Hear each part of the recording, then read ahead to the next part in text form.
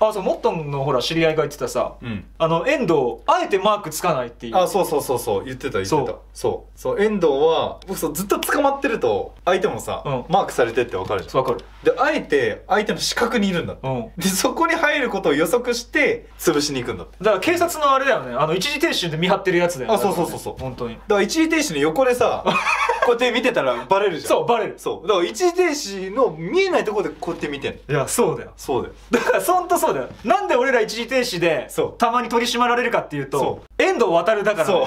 遠藤航がいるから、うん。かっさられるんだよねそう。俺ら。そう。あれだって一時停止の標識の隣にさ警察がさそうこうやってさ並んでたらさ5人こうやって見てたらさ。5人並んでたらさ、全員一時停止するもん。するよ絶対うんする。うん。だからマンマークってそういうことだよね。あそうだよ。そうそうそう。警察5人並べてそいつの目の前でこうやってやってんの。そうそうそうそうそう。だから悪いことできないんだよ。そうだよそう。けど警察が見てないか見てないって思ってるから悪いこと悪いことするるよ。そう。だからコンビニに警察30人いたらうん。誰も万引きしない,、万引きしない。よそうそう。そう。マジでそういうことなんよそだから遠藤マジでそれやなそう。ネズミ捕り。万引き G メンも一緒よ。あ 確かに。遠藤万引き G メン万引き G メンだ私服で。そう私服でね。いや遠藤 G メンだわ。G メンだよ。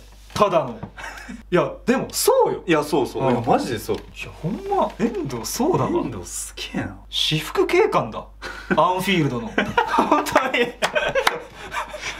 アンフィールドの私服私警官だ。服警官だったわ。うん。アンフィールドの万引き G メンだわ。うんすげえわ。いやほんとそれだわ、うん。あ牧野も言ってたんだ。ケルンで同じこと学んだって言ってた。距離取るしかないって。ただそれでさ、うん。出させてさ、うん。前向かれてひっくり返されたら、うん。お前なんでマークついてないんだよって言われるじゃん、うんうん。だからそこで取り切れるから怒られないんだよね。そうそうそうそう。そうなんや。まあでもリバプールはそれでひっくり返されても文句言われないからね。そうね。ん、出てけだからね。そう。まず行けってね。だから遠藤もねリバプールで、うん。あのスタートポジション前よりも何メートルかね高くなったっていう話してたもん。そのぐらい前への意識はやっぱり高いって。いやすごいなそれ。だから本当にさ、うん。守備っていうのはこういうものってさ、うん。うんでも何事もそうだけど決めつけて教えるってあマジでよくないよね。よくないよくうん。ない、だからなんつうんだろうなこれめっちゃむずいよねだから、ね、めっちゃむずいうんよ本当に。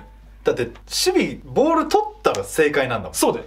そうこう取りなさいとは言えないんだよ言えないね。だから何パターンもさ、うん。だからこれ指導者もめっちゃむずいよね。めっちゃむずいよ。そんなじこんな柔軟なやついないじゃん。いない。でしかも遠藤航みたいにさ、うん。独自の守備編み出すやつとかってさ、うんもうプロいっちゃってるわけだからそうさ、指導者じゃないじゃん、うんうん。頭柔らかいやつからやっぱまあその指導者が成功してないって今言い方になっちゃうからあれだけどさ、うんうんやっぱその遠藤は直接教えられる立場じゃないからさそうだね。その直接教える立場の人がさ、うん。最強な柔軟性持っててしかも伝えるのも上手くないと伝わんないから、うんそうだね。いやそう考えるとやっぱ指導者ってめちゃめちゃむずいよね、超むずいよ。うん、だって遠藤の守備を教えるってなったらめっちゃむずくない？めっちゃむずい。だって自分できないわけじゃん。そうだね。いや俺もそうだけどさ、うん。俺もだって遠藤の守備教えてくださいって言われてもいやできないからどのタイミングでスタート切ってだから分かんないもん。ね。遠藤も言ってたけど相当なハイライン敷いてるプラスインサイドハーフまで前に出てく前プレな上アンカーの遠藤まで前出てくのって大回数の能力前提っぷりすごいよね。そうだね,、まあそうね。やっぱひっくり返された時のさ、うんうん。もうその一番高い保険入ってるもんね。そうそうそう。キーパーとセンターバックがあれだけね能力高くないと、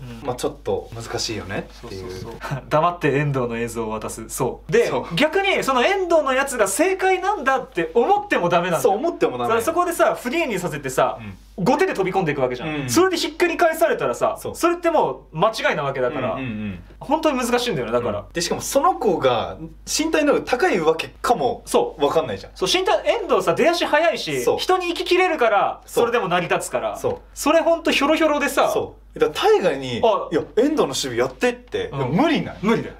無理ないだからこれ現実で分かりやすく言うと、うん。遠藤航が万引き G メンして、うん。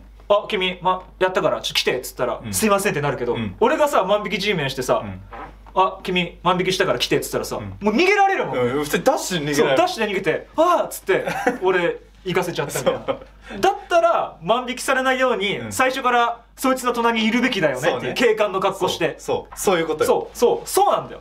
だ警官の格好して万引きするやつの隣に最初からいるか、うもう。で万引き G メンのふりして、先に万引きさせてで捕まえる捕まえるか。そうその能力があるかどうかだよ。いや本当に。いや本当にそうなんよ。うん。で俺みたいなひひょろくて能力低いやつは、うん。先に万引きさせたら逃げられちゃうそうそうそう。綿だったら捕まえる。捕まえるけどね。てめえふざけんなよ。っつそう。ってヘッドロックして。しばしばき倒すけど。ニーブラできるから。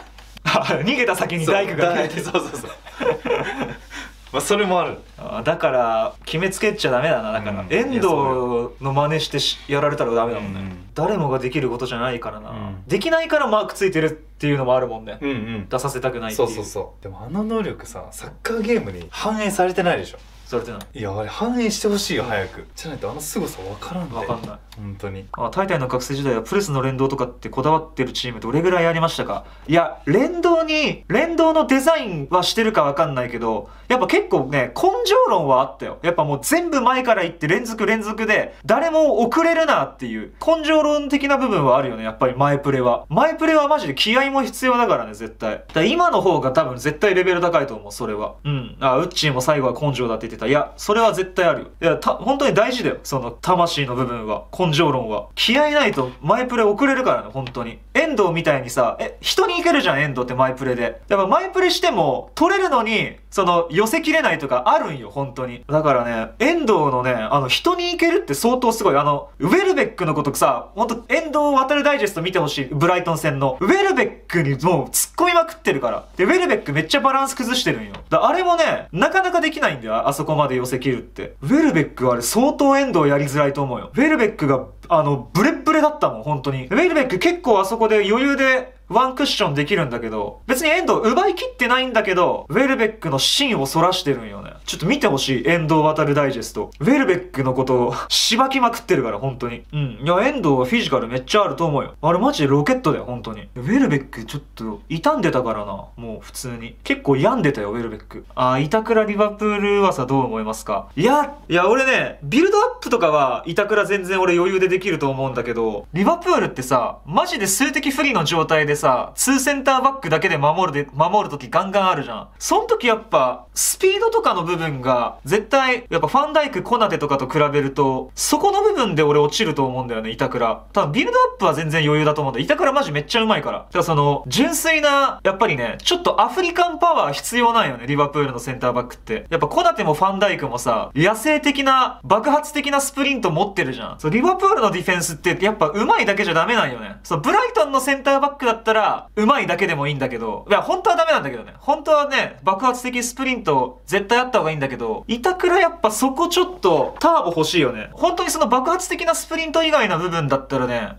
全然いいと思うんだけど、うーんって感じかな。でクワンサーとかもさ、なんだかんだスピードあるもんね。でも確かにディフェンスいないからね、リバプール、センターバック特に。いや、でもあれか？ジョー・ゴメスとかも1000倍やる、やるか？か結構なんかアモリムとかになるとさ、割となんか3バックペースのイメージだからさ、遠藤なんか、結構この前のブライトン戦も遠藤さ、センターバックの間落ちてさ、3バック化して前向きでボール持ってたじゃん。なんかあのまんま3バックになりそうだけどね、遠藤。なんかファンダイクと遠藤とコナテの3バックバックとか、なんか可能性あるけどね、全然。遠藤そのまま前向きでセンターバックになる可能性あると思うんだよね。リバプールってなんか毎回さ、その後釜不足とか人手不足とか言われてるけど、全然そんなことないからね。ユースからバケモンバンバン出てくるし、だいぶ充実してると思うけどな。だサラーの後釜に久保建英って言ってるんだったら俺、エリオットでいいと思うもん。サラーの後釜はもっとメタル系の方がいいと思うよ。本当に。そう、クロップの後釜が一番むずい。そうそう、ダンズ、マコーネル、クラークとかさ。まあな、強いて言うならやっぱセンバか。でもジョー・ゴ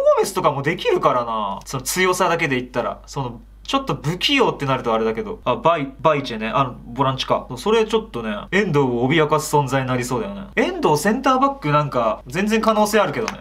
いや、俺遠藤の3バックちょっと見えてるもん。なんならちょっと3バック寄りでボール動かしてるからね。で、遠藤って今リバプールでさ、アンカーやってるけど、センターバックもしながら、インサイドハーフもするというか、この、相当この振り幅あるよね。だから偽、偽ボランチというか、どこでも行くもんな。あの感じそのまま後ろになってもいいし、インサイドハーフ、トップ下気味になってもいいし、でも遠藤は、そのね、いろんなところに動いてもいいっていう権限与えた方が俺はいいと思うから、なんつうんだろう。だ今のところが一番いいと思うね。だセンターバックからさ、相手ののボランチまで背中バッチンみたいのはやりすぎじゃん。ちょっとイメージ的に。ただそれもやっぱクロップリバプールだからこそ、俺起きてることだと思うから、本当に純粋なセンターバックにされたらなんか遠藤、遠藤のあのアグレッシブさっていうのはだいぶ半減すると思うな。遠藤ほど自由にさせた方がいいよね。